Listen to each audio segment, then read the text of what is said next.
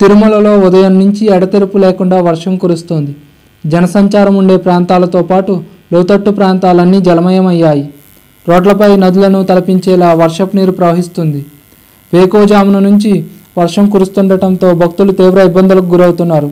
దీంతో స్వామివారిని దర్శించుకుని బయటకు వచ్చిన భక్తులు ఆలయ పరిసర ప్రాంతాల్లో ఉన్న రేకుల షెడ్ల క్రింద తలదాచుకుంటున్నారు.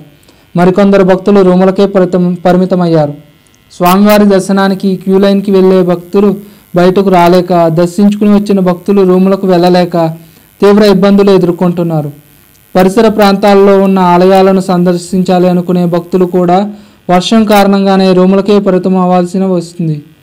భారీ వర్షం కురుస్తుండటంతో తిరుపతికి వెళ్ళే డౌన్ ఘాట్కు ద్విచక్ర వాహనదారులను ఆగి నెమ్మదిగా వెళ్ళాలని అధికారులు జిఎంసి టోల్గేట్ వద్ద సూచిస్తున్నారు. టీటీ అధికారులు వర్షానికి కొండ చర్యలు విరగకుండా తగిన చర్యలు తీసుకున్నారు.